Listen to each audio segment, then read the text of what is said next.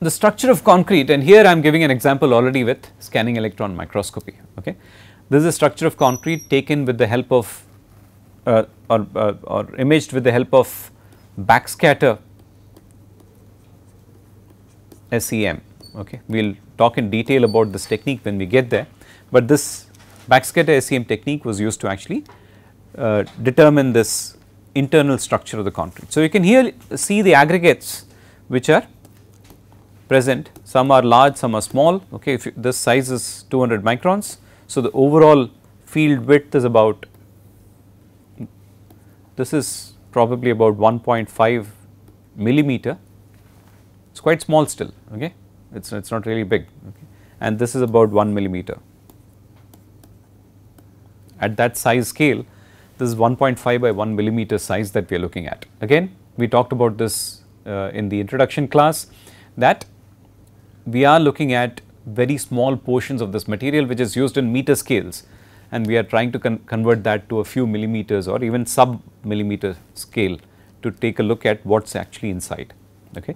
So, you can now understand the challenge that we want to go from this scale to explaining the properties of the concrete compressive strength that you measure in the lab or the performance of concrete in a structure where it is actually a very large beam for instance or a very large column. Okay. So, the idea here is to look at how the different phases are getting distributed. So, you can see a typical polished surface from a slice of concrete.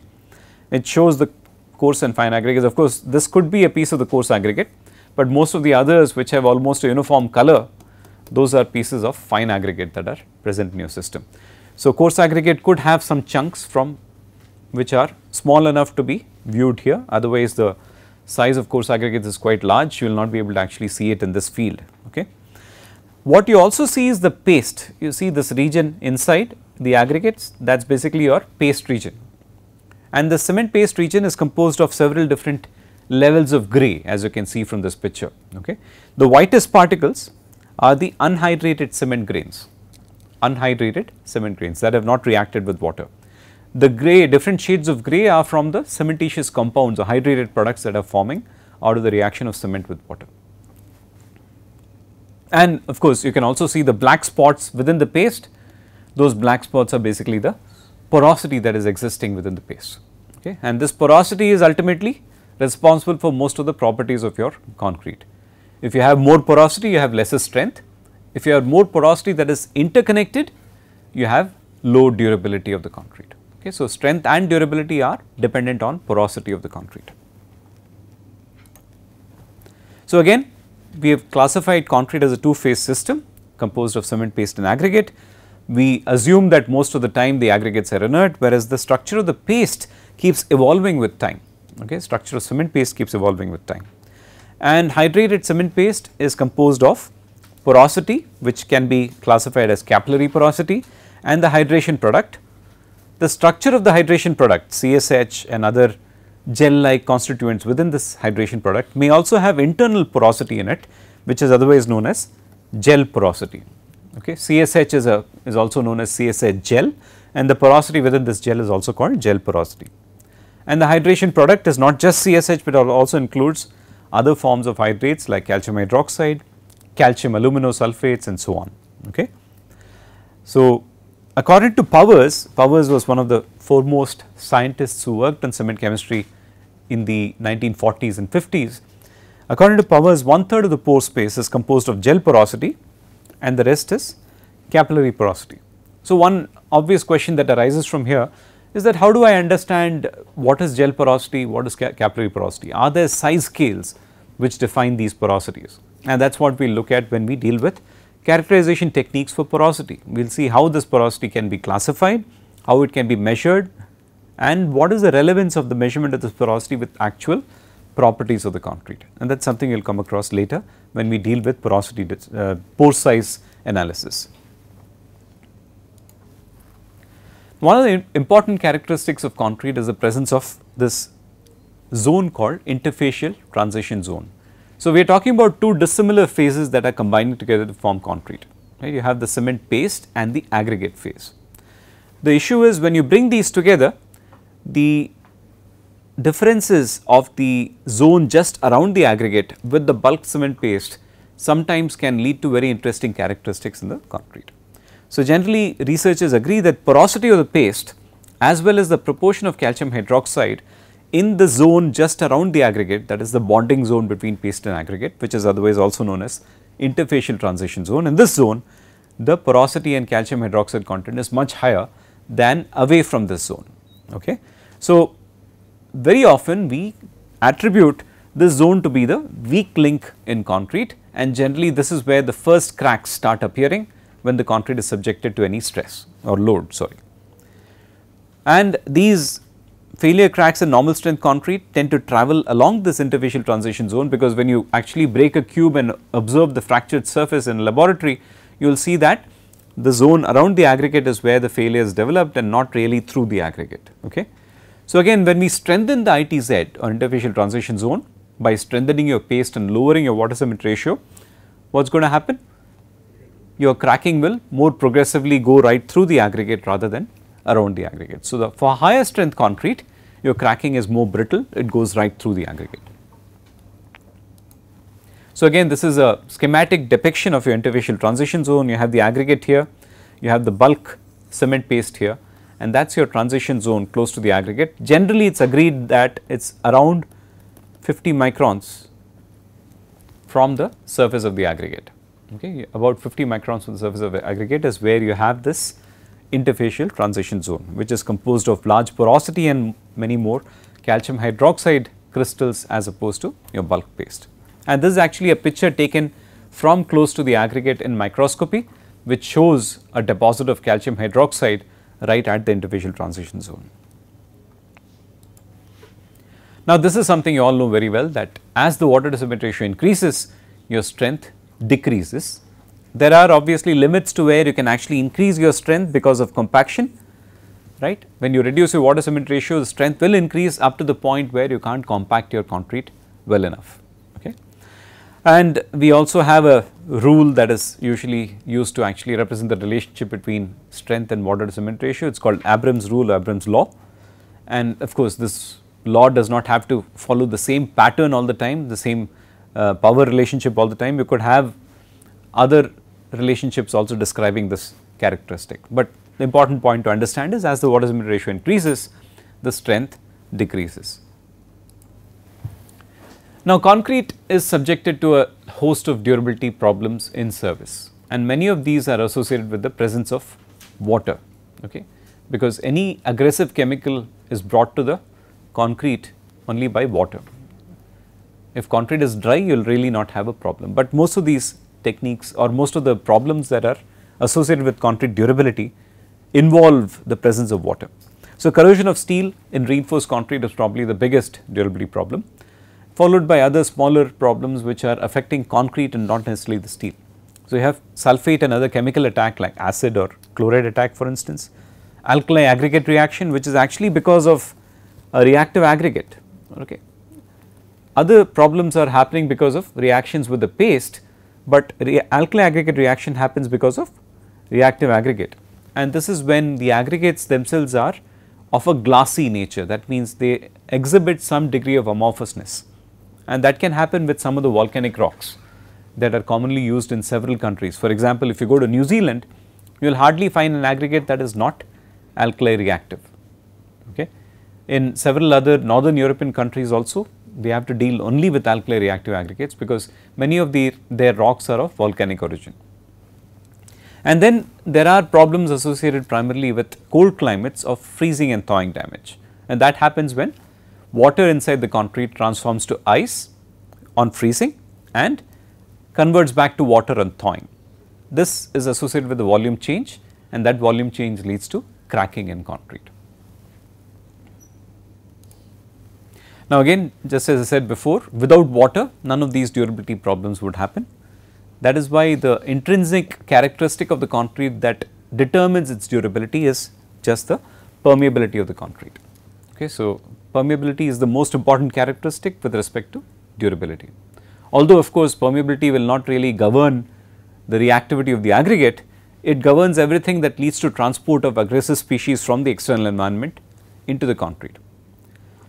But you will if you do uh, uh, read about alkali aggregate reaction, you will see that one of the major reasons why expansion actually happens is because of the imbibing of water.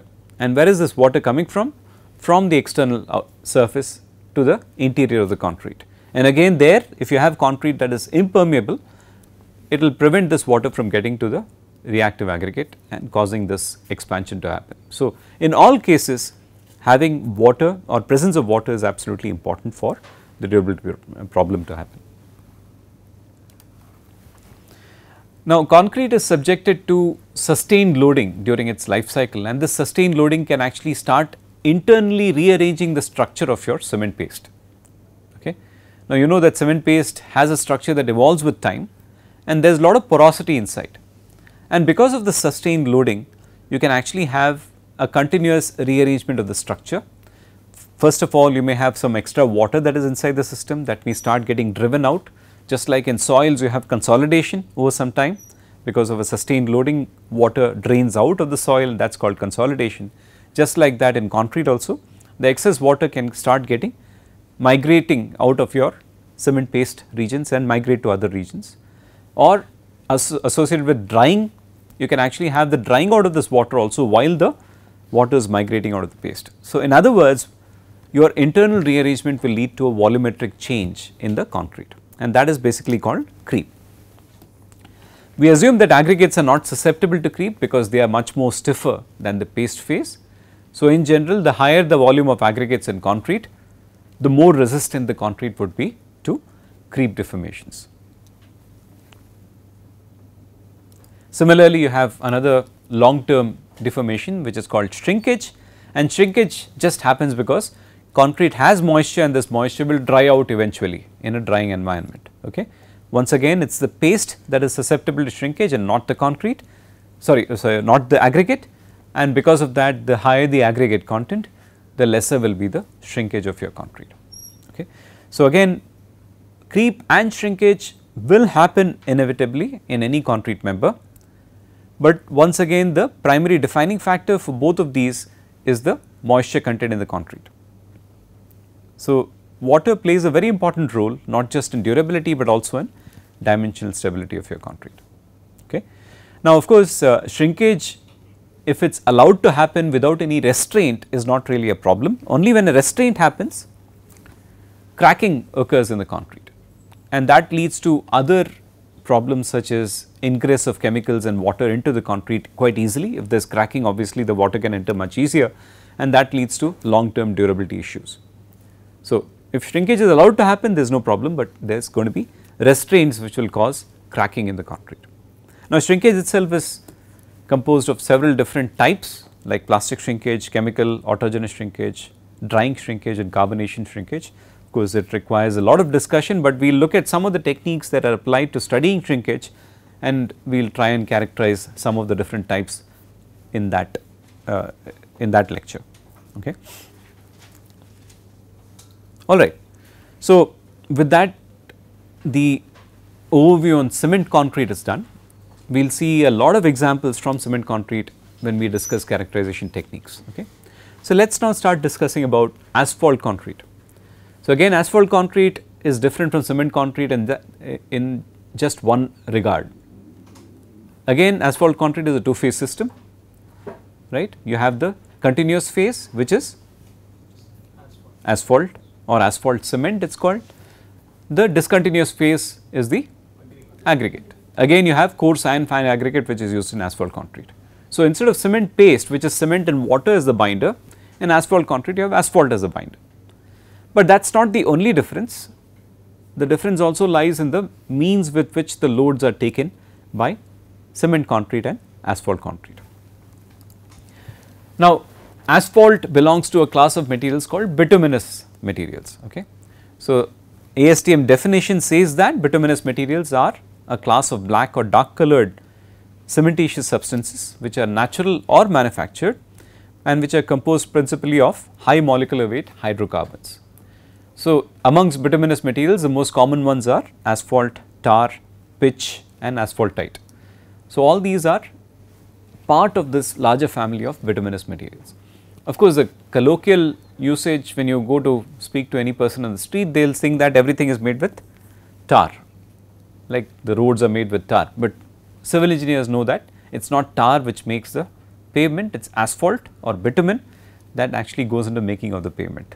But tar has other interesting characteristic, for example, it can be used to prolong the life cycle of your asphalt pavement because tar does not dissolve in gasoline and other organic solvents, whereas asphalt does dissolve in because asphalt is obtained from the same process as gasoline. Okay. So, if you have a petrol spill on your road, if there is asphalt on the surface, it will start getting dissolved. But if you have a surface treatment done with tar, you will be protecting the road surface and prolonging the life cycle of your road. So, of course, natural bitumen can also be found across the world primarily uh, you have bitumens with inorganic impurities like lakes in Trinidad, Venezuela, Cuba and so on and bitumens without any inorganic impurities are also found in pure forms and these are given the mineral names as gilsonite, grahamite, wurtzilite, apatite, elaterite and so on. So, these are all found in different locations geographical regions across the world and if you really look at the history of building materials a lot of the past construction where they uh, wanted binders to fix large masonry blocks, one of the common binders that people actually used was asphalt.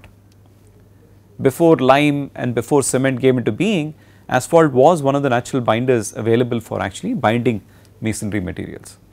Okay. Artificial bitumen which we are more commonly prone to using these days is formed from different processes.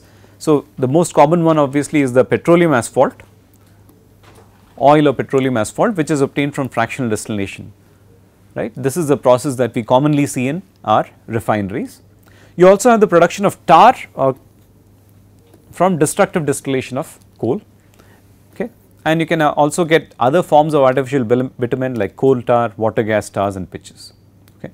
But for the most part we deal with asphalt from the petroleum processing industry which is obtained from fractional distillation. So, just to distinguish asphalt and tar, asphalt is obtained as residue in the refinement of petroleum. It may also be found in natural pools okay and this is what we use as a binder in pavement construction and it is a long chain hydrocarbon, high molecular weight but it is a long chain hydrocarbon. On the other hand tar is obtained from destructive distillation of bituminous coal. It is not used in paving but it is used in waterproofing and pavement treatments okay and major difference is it is a cyclic or aromatic hydrocarbon. Okay. So, long chain is also called aliphatic, cyclic is also called aromatic hydrocarbon. So, that is the primary distinction between these two classes of materials. So, again in the sources of uh, uh, when you do the distillation of your crude oil, there are various processes that go from the formation of propane gas to petrol, to kerosene, to grease and finally you get asphalt as a residue in this process.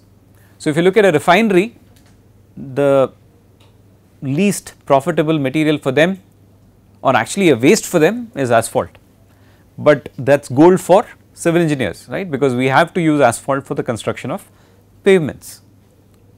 More than 90 percent 95 percent of the pavements across the world are done with asphalt. So, because the uh, owners of these refineries realize that even this residue or waste can be a very large profit making material as far as its application in construction is concerned. So, these days obviously you do not get pure asphalt anymore there are a lot of modifications done to the asphalt to make modified binders which have superior characteristics of the pure asphalt. Okay. So, a lot of research is going on in trying to understand the characteristics of the asphalt and how to actually modify or improve the characteristics by using other types of additives into the asphalt also. So, one of the major characteristics of asphalt is its dependent dependence on temperature. Okay. Like any other polymer, asphalt is highly dependent, asphalt properties are highly dependent on temperature. At room temperature, let us say around 20 to 25 degrees Celsius, asphalt is highly viscous. The viscosity of the asphalt is about 250,000 poise at room temperature. But when you want to actually use this as a pavement material, if you work with that viscosity obviously it is not going to mix with the aggregate and get compacted to a roadway pavement.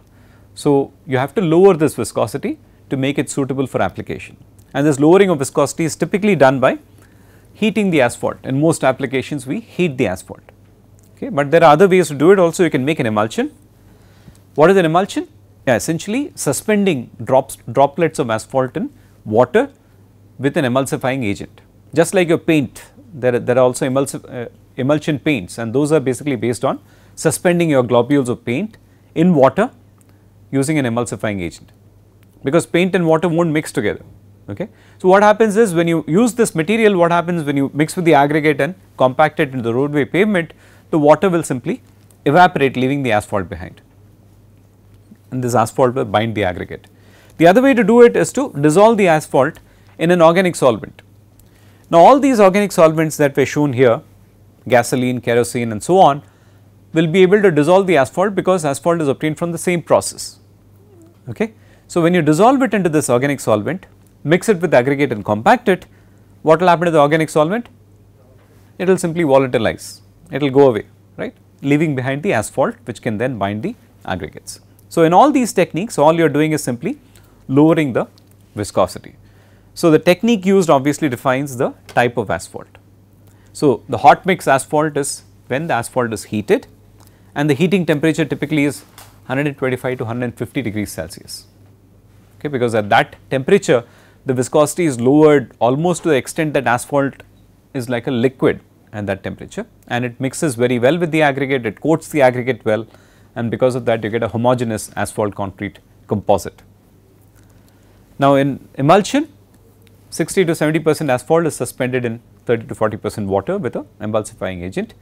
When water evaporates the process is called as breaking okay and cutback is nothing but the dissolved asphalt in an organic solvent uh, low molecular weight organic solvent and essentially when the solvent volatilizes your asphalt remains behind and binds the aggregate. Okay. So, we have seen now different types of asphalt in the Next lecture we will continue with assessment of how this structure of asphalt concrete evolves with time and how does that lead to modifications or rather uh, complications in analysis of asphalt properties. We will also then look at steel as a material and polymers and plastics to wind up this segment on structure of construction materials. Okay. So, thank you all.